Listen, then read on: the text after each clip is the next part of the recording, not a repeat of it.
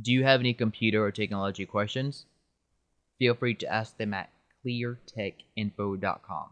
Remember, the only stupid question is a question you don't ask.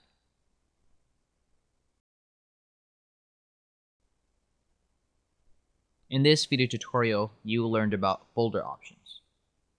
Under folder options, there are many different settings which you could tweak, but for this video tutorial, I'll only concentrate on two settings.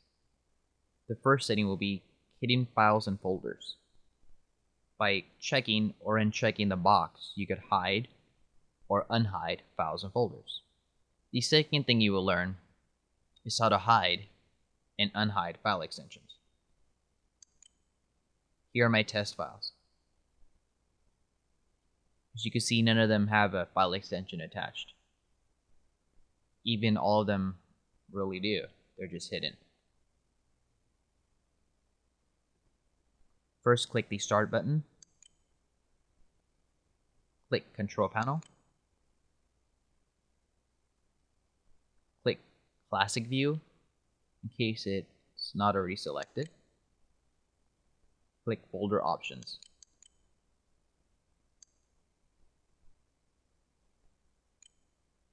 Click the View tab. Hidden Files and Folders. Currently it's set to Do Not Show Hidden Files and Folders. This is how to create a hidden file. Select a file and right click it. Go down to Properties, select that. Attributes, read only and hidden.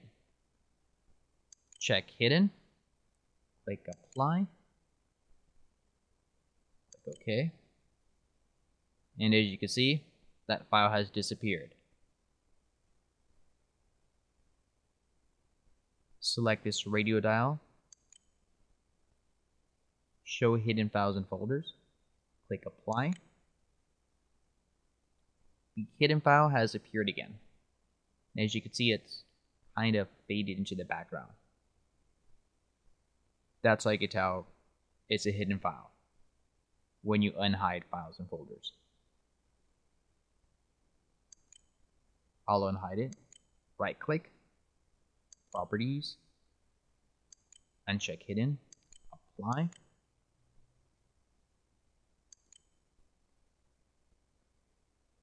I'll just select this again. The file is not hidden because I un unhid the file. The next option, hide extensions for known file types.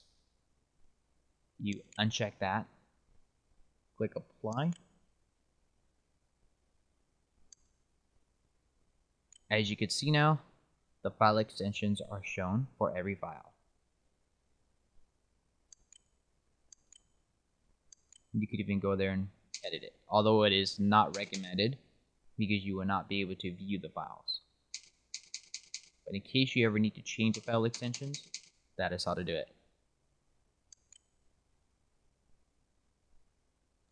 Check this box again, hit apply, and the file extensions disappear.